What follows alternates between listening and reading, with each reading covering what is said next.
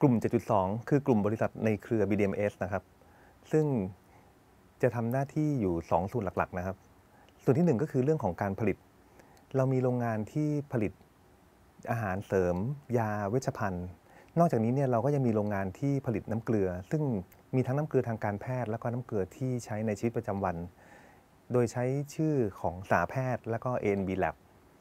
ส่วนที่ 2 จะเป็นธุรกิจของ Save Drug เองนะครับ ซึ่งธุรกิจของ Save Drug เนี่ยเป็นธุรกิจซึ่งเป็นช่องทางในการจำหน่ายสินค้าและบริการที่ผมกล่าวมาข้างต้น ในส่วนของบริการเนี่ยก็จะมีทั้งบริการ telepharmacy telemedicine สองส่วนหลักๆ นี่คือกลุ่มธุรกิจหลักของ 7.2 ครับ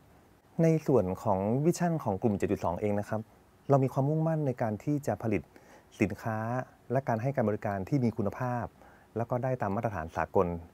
โดยการใช้เทคโนโลยีในการผลิต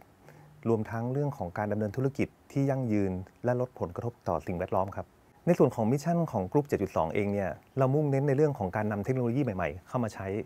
ซึ่งเทคโนโลยีใหม่ๆที่เรานำมาใช้เนี่ยเพื่อที่จะเพิ่มประสิทธิภาพ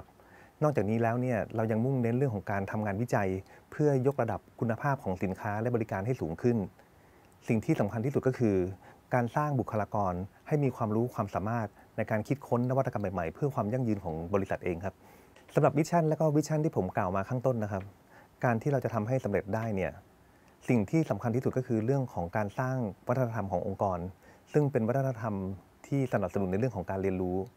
แน่นอนที่สุดครับ การที่เราจะเรียนรู้อะไรสักอย่างหนึ่งเนี่ยมันก็มีเรื่องที่ผิดพลาดได้ ซึ่งเป็นเรื่องปกติ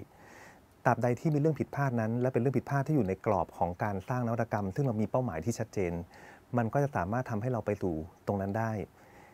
เรื่องที่สำคัญที่สุดก็คือว่าเมื่อพนักงานของเราเริ่มทำสิ่งที่เขาคิดขึ้นมา เมื่อไหร่ที่เขามีความผิดพลาด เราต้องเข้าไปช่วยเหลือเขา การสนับสนุนการอุ้มเขาขึ้นมา การช่วยเขาเพื่อให้เขาสามารถเดินต่อได้ ภายใต้กรอบที่เรากำหนดไว้เนี่ยมันก็เป็นอีกส่วนหนึ่งซึ่งเราสามารถช่วยเขา ให้เขาสามารถเดินไปสู่เป้าหมายที่เราต้องการจะพัฒนาได้ครับ สุดท้ายนี้อยากจะเน้นว่า การที่ทำให้ธุรกิจมีความยั่งยืน การสร้างนวัตกรรมใหม่ ๆ ขึ้นตลอดเวลา เป็นสิ่งที่สำคัญมากนะครับ แต่ว่ากลไกที่จะทำให้เกิดเรื่องพวกนี้ขึ้นมาได้เนี่ยก็คือตัวบุคลากรเอง รีบทำกับเร่งทำอะมันต่างกันนะครับ เพราะว่าคนที่ล้มก่อนก็ลุกได้ก่อน ขอบคุณมากครับ